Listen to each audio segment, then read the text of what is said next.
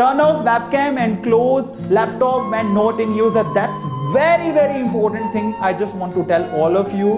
आपको लगता है कि हमने मोबाइल को स्विच ऑफ़ अब हम, हमने मोबाइल को रख दिया है? उसका यू नो साइड का एक बटन होता है, उसको दबा दिया। आपको लगता है कि अब तो कुछ भी एक्सेस नहीं हो रहा होगा मोबाइल तो बंद है या लैपटॉप बंद है, ऐसा नहीं होता है। हैकर्स हैं, आपके कैमरा का एक्सेस कोई भी ले सकता है।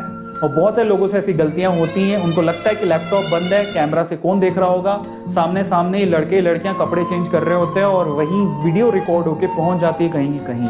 बी केयरफुल अगर आप लैपटॉप यूज़ कर रहे हैं तो समझिए, जब तक आप यूज़ करते हैं, सही काम के लिए यूज़ कर रहे हैं दैट्स फाइन जब उसको यूज़ नहीं कर रहे हैं तो पहले तो आप लैपटॉप को पूरी तरह से बंद करिए, ताकि वो कैमरा आपको देख नहीं रहा हो। कैमरा आपको देख रहा है, इसका मतलब आपको कोई भी देख सकता है। बी केयरफुल अबाउट दैट कोई मतलब इस चीज़ के लिए भरोसा नहीं किया जा सकता। वेब कैम हो चाहे लैपटॉप हो लैपटॉप का कैमरा हो प्लीज़ आप उसे बंद कर दें। समझिए बंद कर दें जब आप ऐसा कुछ यू you नो know, कुछ कपड़े बदल रहे हैं जो भी reason whatever be the reason personal जो भी काम कर रहे हो तो आप इन लैपटॉप्स वगैरह को और मोबाइल के मोबाइल को साइड में रखें लैपटॉप को बंद कर दें। ठीक है? तो आप इन सब चीज़ों का भी ध्यान रखें।